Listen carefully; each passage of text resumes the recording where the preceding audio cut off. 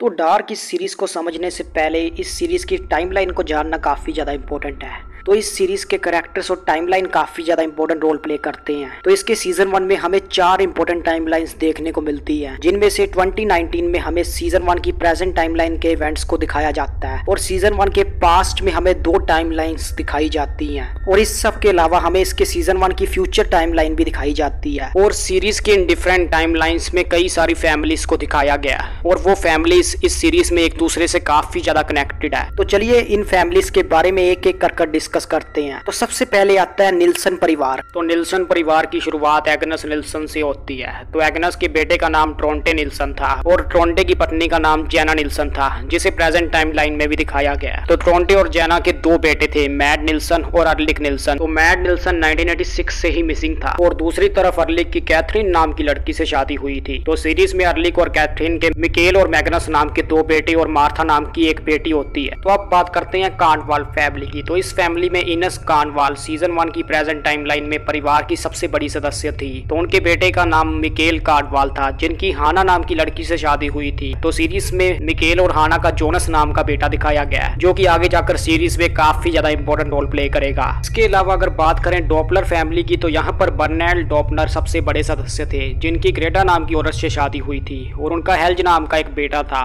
और इसके अलावा हेल्ज के बेटे का नाम पीटर डॉपलर था, जिसकी शार्लेट नाम की लड़की से शादी होती है जो कि इस सीरीज़ में पेशे से एक पुलिस ऑफिसर हैं। तो शार्लेट और पीटर की दो बेटियाँ थी, फ्रेंचिस्का, जो कि उनकी बड़ी बेटी थी, और एलिजाबेथ, जो कि उनकी छोटी बेटी थी। उसके बाद टाइडमैन फैमिली की शुरुआत एगोन टाइडमैन से होती है, और उनकी डोरिस नाम की औरत से शादी हुई थी, और इसके अलावा उनकी क्लोडिया नाम की एक बेटी थी। तो इसके सीज़न वन में क्लोडिया के हस्बैंड के बारे में कोई ज़िक्र नहीं किया गया, मगर फिर भी हमें उसकी रगीना नाम की एक बेटी दिखाई जाती है। तो प्रेजेंट टाइमलाइन में रेगिना की एलेक्जेंडर नाम के एक आदमी से शादी हुई थी। तो एलेक्जेंडर प्रेजेंट टाइमलाइन में न्यूक्लियर पावर प्लांट के डायरेक्टर थे और इसके अलावा अलेक्जेंडर और रगीना का बार्टोज नाम का एक बेटा होता है। तो सीरीज़ की स्टार्टिंग में माइकल कानवाल ने सुसाइड कर लिया था और सुसाइड करने से पहले उसने एक इन्वल्व छोड़ा था, जिसमें लिखा हुआ था कि 4 नवंबर से पहले इस इन्वल्व को ना खोला जाए। तो माइकल की माँ इनस कानवाल इस इन्वल्व को देखकर काफ़ी ज़्यादा परेशान हो चुकी थी, क्योंकि उन्हें समझ में नहीं आ रहा था कि उनके बेटे ने ऐसा क्यों किया। जिसके बाद कहानी थोड़ी सी आगे बढ़ती है और तभी हम जोनस कानवाल को देखते हैं, जो कि अपने पिता की सुसाइड करने के बाद काफ़ी काफ़ी ज़्यादा टूट चुका था। और इस सब के अलावा जोनस की माँ हैना का अर्लिक निल्सन के साथ अफेयर चल रहा था। तो अर्लिक उस समय एक पुलिस ऑफिसर थे। तो अब प्रेजेंट टाइमलाइन में जोनस अपने दोस्तों के साथ किसी केव में जाने का प्लान बना रहा था। तो इस ग्रुप में जोनस के साथ मार्था, एग्नस और बारतोस आदि शामिल थे। तो वहाँ जाते समय मार्था और बारतोस का ब्रदर मिकेल उनके साथ चलने की जिद करता है, जिसकी वजह से वो दोनों उसे अपने साथ ही लेकर चले जाते हैं। तो वहाँ पर उनकी फ्रेंड जिसका डॉपलर से मुलाकात होती है, जो कि उन्हीं की क्लासमेट थी। तो उस समय मिकेल उस केव के अंदर जाता है, जिसके बाद वो वहाँ से गायब हो चुका था। तो वो सब मिकेल को ढूँढने की काफ़ी कोशिश करते हैं, मगर उन्हें कहीं भी मिकेल नहीं मिलता, जिसकी वजह से सभी बच्चे अपने पेरेंट्स को कॉल करते हैं। तो वहाँ पर पुलिस इन्वेस्टिगेशन के दौरान अर्लिक निल्सन अपने बेटे को ढूँढने की काफ़ी कोशिश कर रहे थे। उस समय इन्वेस्टिगेशन में शार्लेट डॉपलर भी शामिल थी। तो शार्लेट उस समय अर्लिक निल्सन के पुलिस डिपार्टमेंट की सीनियर ऑफिसर थी। तो उस समय इन्वेस्टिगेशन के दौरान अर्लिक को एक बच्चे की डेड बॉडी मिलती है। तो पोस्टमार्टम के दौरान पुलिस को पता चलता है कि वो डेड बॉडी मिकेल की नहीं है। है और इसके अलावा उस बच्चे ने नाइन्टीज के कपड़े पहने हुए थे। और अर्लिक को भी ऐसा लग रहा था कि जैसे वो पहले भी इस बच्चे को कहीं देख चुका है। और उस समय अर्लिक के पेरेंट्स अपने पोते मिकेल के मिसिंग होने के बाद काफ़ी ज़्यादा परेशान लग रहे थे। क्योंकि आज से तकरीबन तीस साल पहले उनका छोटा बेटा मैट भी बिल्कुल उसी तरह से मिसिंग हुआ था जिस तरह से आज मिकेल मिसिंग हुआ तो यह सब कुछ एक साइकिल की तरह वापिस रिपीट हो रहा था। दूसरी तरफ़ बारतोस को उस केव के बाहर एक बैग मिला था। और उस बैग में उसे कई सारे ड्रग्स और एक फ़ोन मिलता है जिसमें नोहो नाम के आदमी आदमी का नंबर सेफ़ था। इसके अलावा मिकेल उस केव से 1986 में पहुँच चुका था। तो उस समय मिकेल अपने पिता अर्लिक को देखता है, जो कि उस समय हाई स्कूल में पढ़ता था, जिसकी वजह से वो मिकेल को नहीं पहचान पाता। जिसके बाद अर्लिक अपनी गर्लफ्रेंड कैथरीना के साथ वहाँ से चला जाता है। तो मिकेल उसी समय में पहुँचा था, जब अर्लिक निल्सन का छोटा भाई मैड निल्सन मिसिंग हुआ था। तो उस समय जैना निल्सन अपने बेटे को लेकर काफ़ी ज़्यादा परेशान थी। अब मिकेल को कुछ भी समझ में नहीं आ रहा था, जिसके कारण वो पुलिस स्टेशन में चला जाता है। तो वहाँ पर उसकी इगोन टाइट टाइडमैन से मुलाकात होती है। तो मिकेल इगोन को अपने पेरेंट्स के बारे में बताने की कोशिश करता है। मगर उस समय इगोन को मिकेल की बातें बिल्कुल भी समझ में नहीं आ रही थी, जिसके कारण इगोन मिकेल को इनेस कानवाल के पास छोड़ देता है, जो कि उस समय एक हॉस्पिटल में नर्स थी।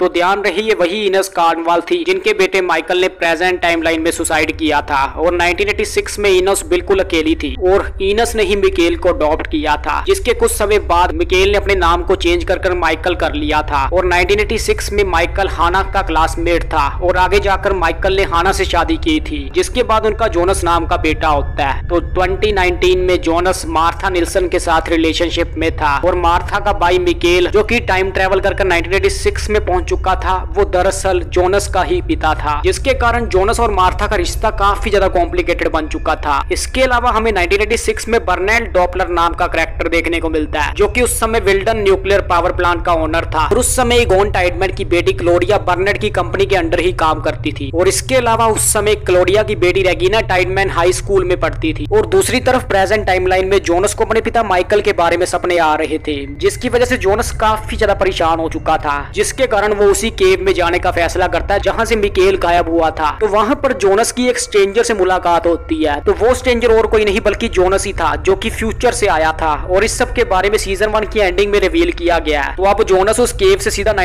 1986 में ट्रेवल कर चुका था, जहाँ पर वो मिकेल को इनस कानवाल के साथ देखता है, जिससे उसे यह समझ आ चुका था कि मार्था का भाई मिकेल ही उसका पिता है। तो जोनस मिकेल के पास जाने की कोशिश करता है, मगर तभी वो स्ट्रेंजर जोनस को रोकते हुए कहता है कि अगर तुमने ऐसा किया तो समय का क्रम बदल जाएगा, क्योंकि माइकल के वापस घर जाने से तुम्हारी एग्जिस्टेंस खत्म हो जाएगी। और माइकल अगर अपने समय में वापस चला गया तो उसकी कभी हाना से शादी नहीं होगी, और तुम्हारा कभी भी जन्म नहीं होगा। तो जोनस उसकी बातों को सुनकर काफ़ी ज़्यादा शौक हो चुका था, जिसके बाद वो अपने समय में वापस लौट जाता है। तो जोनस ने अपने समय में वापस लौटने के बाद मार्था के साथ भी ब्रेकअप कर लिया था, क्योंकि मार्था उसकी आंट थी। इसके अलावा हम सीरीज़ की प्रेजेंट टाइमलाइन में एलिजाबेथ नाम की एक लड़की को देखते हैं, जो कि बोल और सुन नहीं सकती। तो एलिजाबेथ को नो नाम के एक आदमी ने वॉच दी थी। तो शार्लट उस वॉच को एकदम से देखकर काफ़ी शौक हो जाती है, क्योंकि वो घड़ी शार्लट की ही थी। इसके अलावा एलिजाबेथ के स्कूल का फ्रेंड जैसन भी माइकल की तरह गायब हो चुका था। दूसरी तरफ़ उर्लिक अपने बेटे मिकेल के मिसिंग होने के बाद काफ़ी ज़्यादा टूट चुका था, जिसके कारण वो हैना के साथ ब्रेकअप कर लेता है।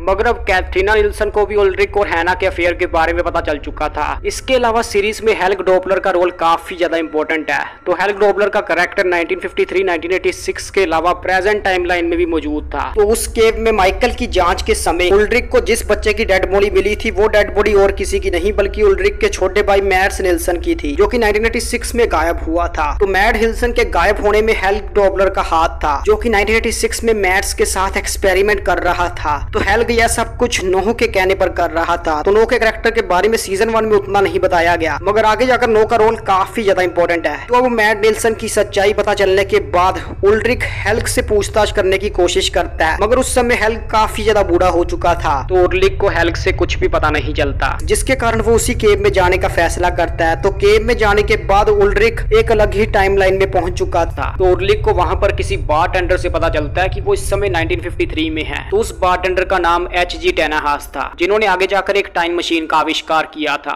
तो उनका इस टाइम मशीन को इन्वेंट करने के पीछे एक कारण था, जिसके बारे में हमें इसके आगे के सीज़न में पता चलेगा। तो 1953 में हमें कई सारे करेक्टर्स देखने को मिलते हैं, जिनमें से सबसे पहले हम हेल्क डॉपलर के पेरेंट्स बर्नेट डॉबलर और ग्रेटा को देखते हैं। इसके अलावा इस टाइमलाइन में भी हमें इगोन टाइडमैन देखने को मिलता है। तो इस समय इगोन की बेटी क्लोडिया हेल्क की काफ़ी अच्छी दोस्त थी। तो अब उर्लिक निल्सन इस टाइमलाइन में हेल्क को जान से मारने की कोशिश करता है, ताकि वो 1986 में अपने बाई मैट्स को गायब होने से बचा सके, मगर इस सब के बावजूद हेल्क डॉबलर ज़िंदा बच चुका था और इगोन टाइडमैन भी उर्लिक को गिरफ़्तार कर लेता है, जिसकी वजह से उर्लिक 1953 की जेल में कैद हो चुका था। दूसरी तरफ़ 2019 में शार्लेट उर्लिक निल्सन की फ़ोटो को 1953 के किसी न्यूज़ आर्टिकल में देखती है तो यह देखकर वो काफ़ी ज़्यादा शॉक्ड हो चुकी थी, जिसके बाद शार्लेट इस चीज़ का पता लगाने के लिए उसी केप में चली जाती है। इसके अलावा 1986 में फ्यूचर का जोनस एच जी टनाहास से टाइम थ्योरीज के बारे में डिस्कस कर रहा था। तो साइंटिस्ट ने उस समय टाइम ट्रेवल से रिलेटेड बहुत ही इंपॉर्टेंट किताब को लिखा था। दूसरी तरफ़ प्रेजेंट टाइम में जोनस अपने पिता माइकल को वापस लाने का फैसला करता है, जिसके कारण जोनस 1986 में वापस टाइम ट्रेवल करता है। मगर तभी 1986 का हेल्क जोनस को उसी एक्सपेरिमेंट रूम में बंद कर देता है। तो उस समय फ्यूचर का जोनस उसी कमरे में मौजूद था, जहाँ पर प्रेजेंट टाइम का जोनस बंद था। तो फ्यूचर का जोनस प्रेजेंट जोनस को अपने बारे में सब कुछ बताता है, जिसके बाद प्रेजेंट जोनस उससे मदद मांगने की कोशिश करता है, मगर फ्यूचर जोनस उसकी मदद करने से मना कर देता है। तो वो प्रेजेंट जोनस से कहता है कि जो कुछ भी तुम एक्सपीरियंस कर रहे हो, वो मैं पहले ही एक्सपीरियंस कर चुका हूँ। और मेरा ऐसा करना हमारे फ्यूचर के लिए काफ़ी ज़रूरी है, जिसके बाद वहाँ पर एनर्जी से एक होल क्रिएट होता है। तो जोनस उस होल में हेल्क को देखता है। तो वो हेल्क 1953 की टाइमलाइन का था। तो जोनस हेल्क के पास जाने की कोशिश करता है, जिसके बाद हेल्क जोनस के रूम में पहुँच चुका था और जोनस किसी डिफरेंट टाइमलाइन में पहुँच जाता है। तो वो टाइमलाइन फ्यूचर की थी, जहाँ पर कई सारे लोग मौजूद थे। तो इस टाइमलाइन को देखकर ऐसा लग रहा था कि जैसे दुनिया खत्म हो चुकी है। इसके अलावा हम उस टाइमलाइन में एक मिस्टीरियस गर्ल को देखते हैं, जिसके बारे में हमें इसके अगले सीज़न में पता चलेगा। तो यह थी दोस्तों डार्क के सीज़न वन की एक्सप्लेनेशन तो अगर आपको ये एक्सप्लेनेशन अच्छी लगी तो वीडियो को लाइक करें और चैनल को ज़रूर सब्सक्राइब करें, क्योंकि मैं इसके सीज़न टू को बहुत ही जल्द एक्सप्लेन करने वाला हूँ।